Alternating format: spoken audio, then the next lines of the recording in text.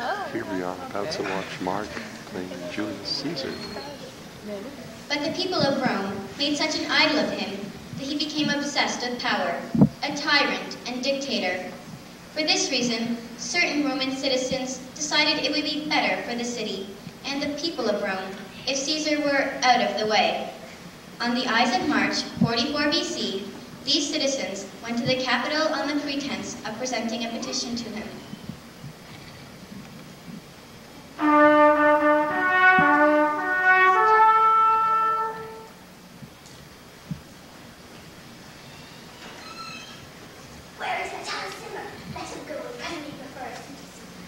His address, pressed near and second. Cast that, we're the first that rears your hand. Are we all ready?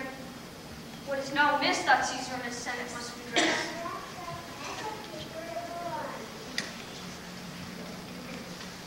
Most high, most mighty in his honesty, the tide simmer flows before thy speed. And humble, I must prevent thee, Cimber, for these crouchings and these lowly curtsies might fire the blood of ordinary men, and turn preordinance and first decree to the law of children. Be not fond to think that Caesar bears such rebel blood, that which will be thought from the true quality, but that which mouth fools, I mean sweet words. Low cook curtsies and base pen upon thy brother by degrees banished. Thou didst bend and pray upon mine. I spurn thee, like a cur, out of my way. No Caesar doth not wrong, nor without cause will be he satisfied. Is there no voice more worthy than my own for the, the sound most sweetly in great Caesar's ear for the repeating of my banished brother? I kiss thy hands, but not flattery, Caesar, desiring thee that Publius Cimber may have immediate freedom of the field. What? Brutus? Pardon, Caesar, Caesar pardon, as well as to thy foot doth Cassius fall, to beg enfranchisement from Publius Cimber. I could be well moved if I were as you. If I could pray to move, prayers would move me. But I am as constant as the northern star, of whose true fixed and resting quality there is no fellow in the firmament. The skies are painted with unnumbered sparks.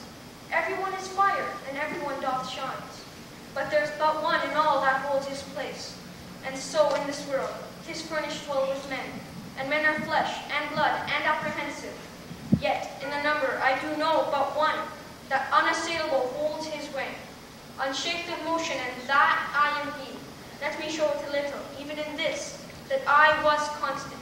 Cimber should be banished, and constant do remain to keep him so. Oh, Caesar! Hence will thou lift up Olympus. Great! Doth not Brutus bootless kneel? Speak hence for me. Envy.